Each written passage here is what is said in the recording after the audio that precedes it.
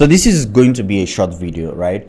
I am going to be walking you through how to pretty much check your profit and your losses over time on the Bybit app. I'm doing this because sometimes we get very excited with the whole trading thing. Maybe a trade is doing well, and then there's this other one that maybe we spent like three dollars or five dollars on that isn't really doing well, but we don't mind.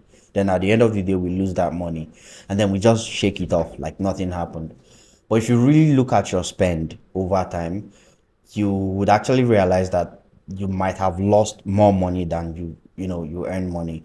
I'm also doing this because i want you to be able to actually at the end of every week look at your trade and say oh how much did i make this week? How much did i lose this week? This is very important especially for those of you who open more than one trade at a time right? If you trade futures on bybit and you have like multiple trades open it can be very hard to keep track of everything. That's why your favorite stockbroker or or investor or trainer would tell you to actually open one or two trades at a time right? Think of all of this as like um, having a bank statement where at the end of the month or week or day you can go and generate a bank statement and see how much you spent this month or last month you know what you spend the most money on where you lost money and all of that.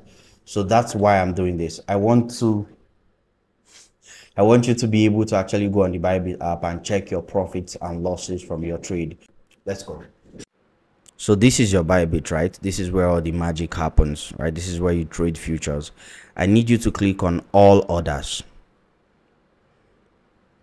When you click on that, you can click on the yellow P and L at the top right corner, or you can click on the other P and L in you know the list of options you have here. When you click here, there is an option that says view trading performance. Immediately you click on that it will show you everything